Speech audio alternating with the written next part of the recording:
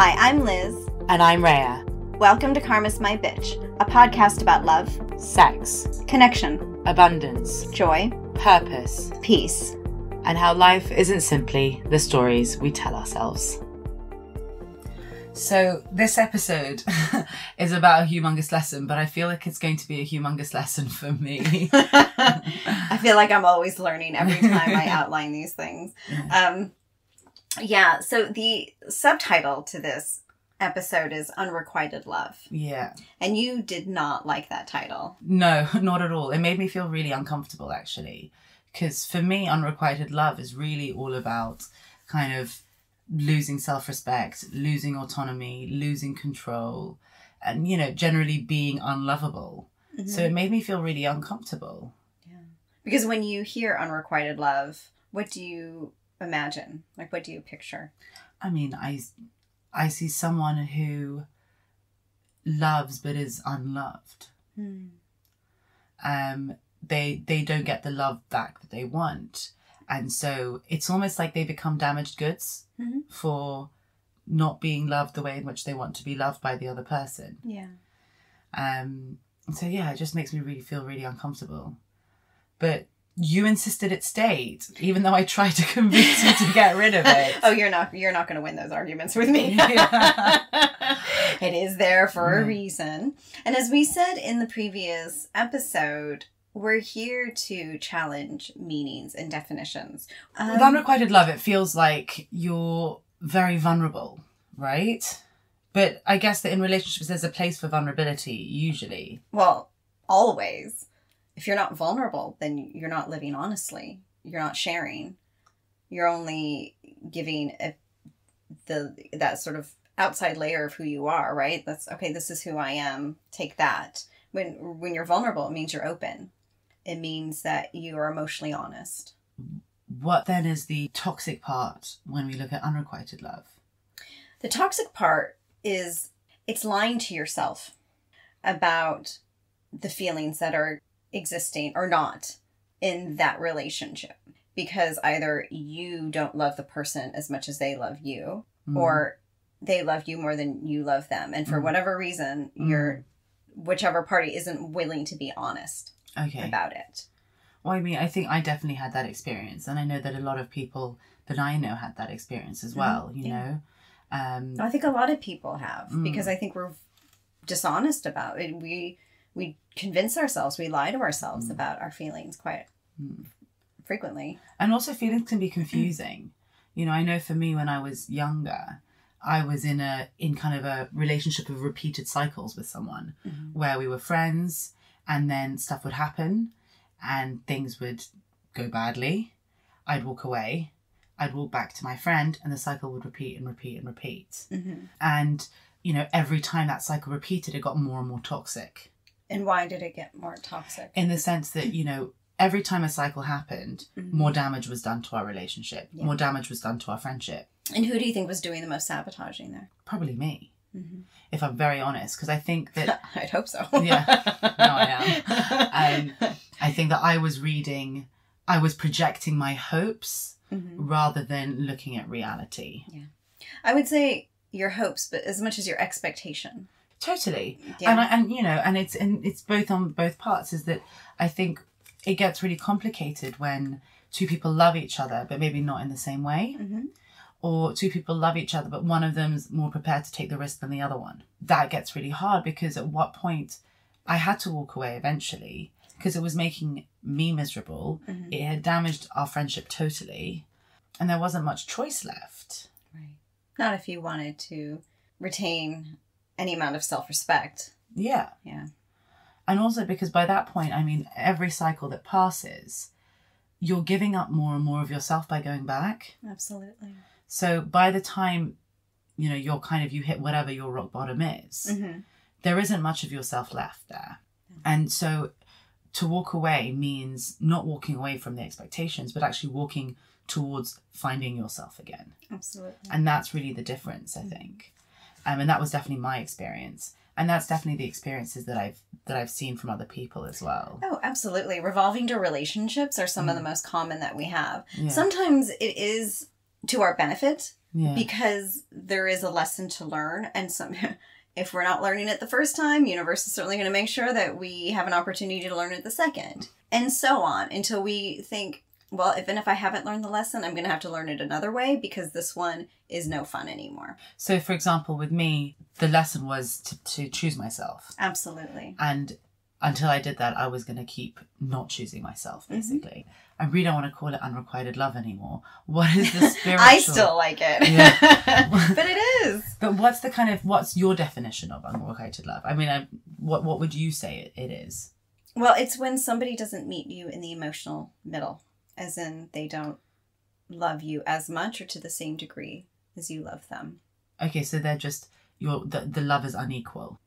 yes Well, then if you look at it that way, there's like a fuck ton of unrequited love in the world. so much And because I find that quite funny, considering that everywhere we go and everything we look at has got the word love in it, and it's all about love. Yes, but it's a very immature idea of love. It's a fan- it's a fantasy love.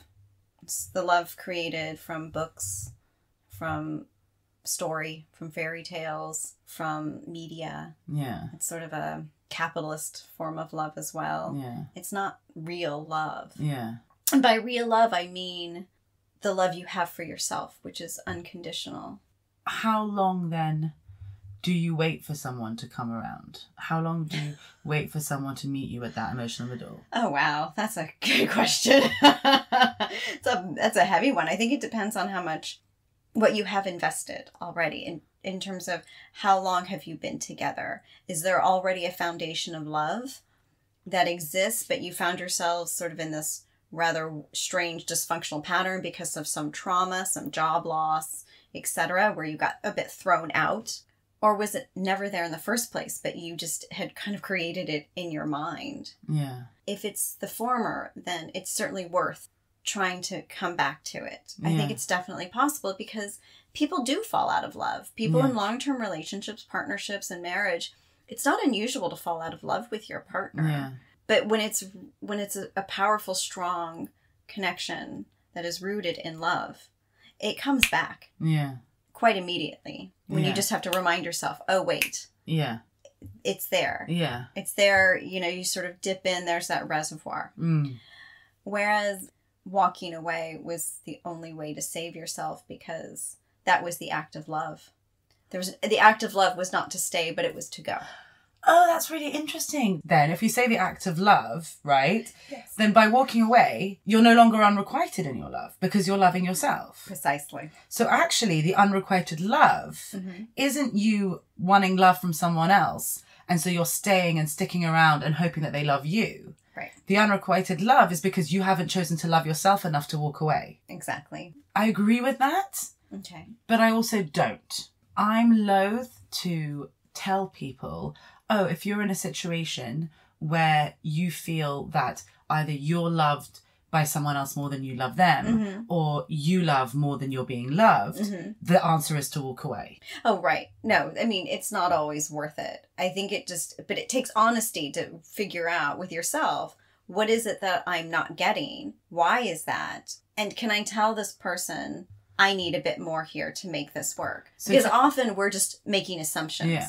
So first, it's kind of like, okay, I recognize that this is the situation. hmm I recognize what I want and or need hmm in order for this situation to not exist in this way. Exactly. I need to ask for it. hmm And once I ask for it, and if I get it, great, because that's also an act of love, because you're standing up for yourself. Yes. But if they're unable to give it to me for whatever reason, hmm and then the act of love is to walk away. Yes. So actually, it's a series of lo- acts of love, Absolutely. which then means it's not unrequited love. Mm. It's just love misplaced. Exactly. And it means choosing yourself. And we're so often told not to put ourselves first. Yeah. But if you don't know how to put yourself first, then you won't ever come first in a relationship. And in a real partnership, both individuals are first. Okay. There's no ranking, there's no Okay. hierarchy. okay. It's harmonious. Okay. Yes, sometimes somebody's needs supersedes their own, the others, if there's something immediate going on. It's not you, me, it's I, thou, as in I honor you as much as I honor myself. Your needs are just as just as important as my own. Precisely. Okay. Well, I think what you said is really interesting because that's not how I've been viewing relationships. Like from a young age, Mhm. we're taught love is sacrifice. From, you know, when we look at historically, it's the woman stays at home and cooks and sacrifices her once for a public life in any Mhm. shape, way, or form for the family. That's how she shows love. The man goes out and works and provides for the family. That's how he shows love. Mhm. Love is always measured by sacrifice. Mhm. Um, love isn't measured by I love you and you and you love me the same amount as I love me and we're all loving each other equally and it's all really great. It's Yeah, know. you know, it's always it's almost that sexy thing of, you know, I'm trying to think of even a movie scene. Like there's so many where he kills himself for her. endless. You know? Well, those are our Like- fairy tales. Yeah, it's all sacrifice. I mean, we are conditioned from very young ages over this rather dysfunctional form of love Yeah.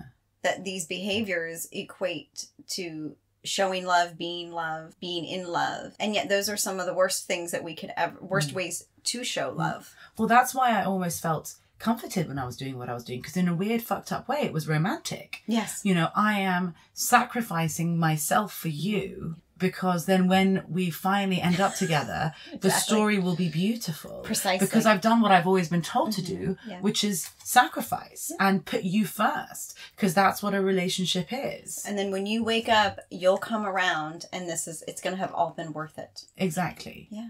Even now, I notice that when I'm interacting with men or hearing stories from other friends and everything else, it's almost like he did this for me. I did this for him. Mhm. It's like love is defined by acts of service, not equality, not harmony. Right. If we say relationships are a mirror, Mm-hmm. which we'll go on to talk about more in episodes in the future, Mm-hmm. and if we say that your needs are just as important to me as my own, Yes. right? And I have a huge degree of self love, Mm-hmm. right? Yes. You have a huge degree of self love. So you're attracting a partner who has a huge degree of self love. Very much. Right? Mm-hmm. So they're loving you as much as they love themselves, which is a fuck ton. Mhm. You're loving them as much as you love yourself, which is a fuck ton. Yes. Which means that actually that is the basis Mhm. of a really healthy relationship. Absolutely. Yes. So, and you will be attracting the relationship actually that you want mm-hmm. When you love yourself as much as you can love someone else. Yes. When I'm when I'm making choices Mm-hmm. that pertain to the other person, Yes. to our relationship, and to myself that is in my best interest Mm-hmm. and their best interest equally, Yes. what happens is I never feel like I'm giving away too much of myself. And that's compromise. Yeah. That's and, not sacrifice. Um, and what that means is that I, n- I don't resent. Mhm. I'm not angry. I'm not bringing negative feelings into that.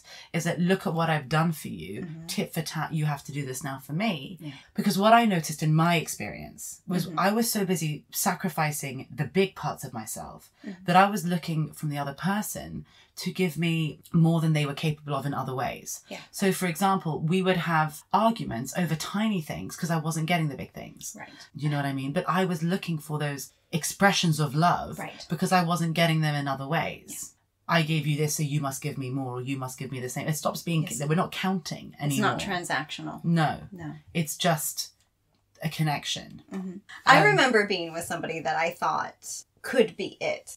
I don't know if he loved me as much as I loved him. I think it was just two very damaged individuals who just sought solace in each other's company. Mm. Yeah, and he didn't. It's not that he even treated me poorly. It was all this projecting I was doing, Yeah. and that was sort of keeping him Mm. there because he felt because he didn't want to leave. Well, that's what's interesting, isn't it? Because we're taught that love is suffering, Yes. right? hmm The ones that make me suffer, the ones that make us suffer, are the ones that we somehow think hold the potential for real love. Yes. But I was the one suffering.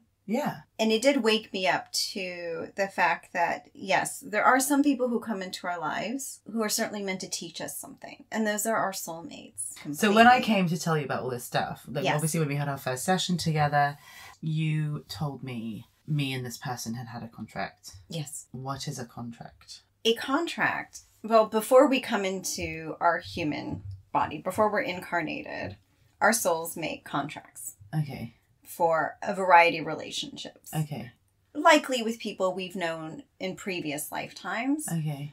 And sometimes there's have might might have been lifetimes of struggle Mhm. and so we want a do-over in this lifetime. We need to heal something, a trauma. So, you know, protect we'll we'll choose the parents that we have. We choose the siblings we have. We choose a lot of things. Yeah. Mm. We choose everything at the end of the day. Mm. And um and often these relationships are meant to bring healing. Can a contract not be fulfilled?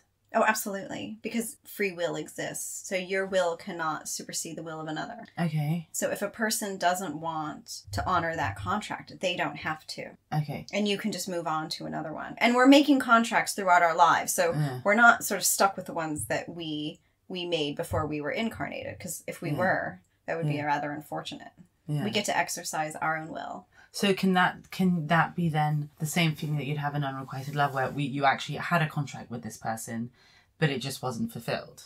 Right. We take this stuff personally, don't we? Yeah. We think that it's it's all about us because when we're sort of in the vacuum of that relationship, it always begins and ends with us, which in many ways is true. But when it's up to the choice of another, you can't always control that. Yeah.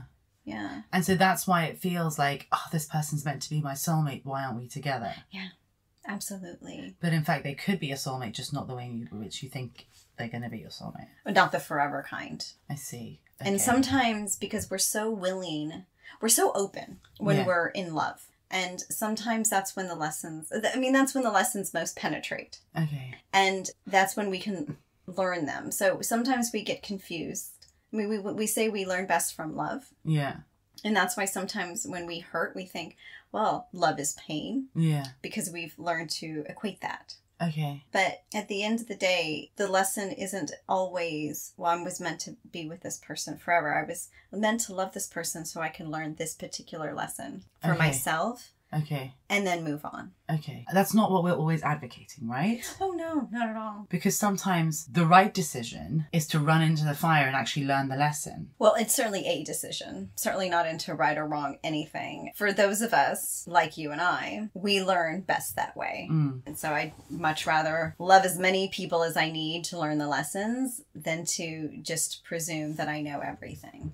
For instance, for myself, Yeah. with this person, Yeah. we were never meant for more than what we had. It was more about reminding me that I wasn't loving myself. And what's funny actually is that what you're talking about contracts, even if you don't believe in contracts, Mm-mm. you can still you see it echoed in reality, Mm-hmm. right? I believe that I'm, I love you, and there's something more here, Mm-hmm. whatever it is. And because I believe that love is sacrifice, I have to sacrifice more of myself Mm-hmm. to make it work. Yeah. But because free will cannot supersede my will, Mm-hmm. if you don't want to be with me, or Mhm. if you don't want more from this than you're giving me, Mhm. I'm not going to get any more, regardless of how much I sacrifice myself. Precisely. And therefore, what I'm left with is a situation where you don't love me, I don't love me, there's no love anywhere. No. So I'm failing to love myself, Mhm. right? And that's the kind of the, the shadow of unrequited love. That, Yes. but I don't like that word failure. Neither do I. We're never failing. We're just needing more lessons. We're always in the process of learning something. We are all a work in progress. And we're all just doing the best we can. Always. If you're listening to this and you're in a situation as we've described, Mm-hmm. it's kind of forgive yourself for whatever stage of that cycle you're at, really. Yes, absolutely. And yes, there's the opportunity to choose to love yourself, mm-hmm. to either ask for what you want Mm-hmm. or to walk away if you're not getting what you want. Yes, because I think some people do feel that they've equated compromise with sacrifice. Okay. And that's what I find extremely problematic in certain relationships where the person recognizes a need to walk away, Yeah. but keeps believing that a simple sacrifice is really the way through, but it's not. Yeah, totally. When I chose myself, Mhm. when I walked away, when I started loving myself, it gave me the confidence to love myself more.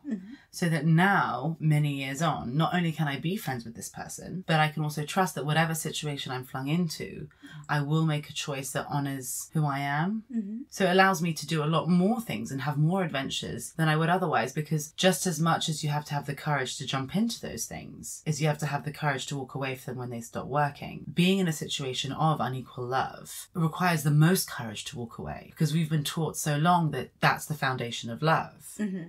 And if you're able to choose yourself over societal's view of what love should be, Mm-hmm. then in the future you can trust yourself to do a whole buttload of other stuff too. The biggest lie we've always told ourselves is that we can we a we can make someone else love us, and B, we know what someone else is thinking, right? Mhm. So you never know if someone loves you, really. The only person, the only love you can really know, Mhm. you, the only head you can really be in is in your own. Absolutely.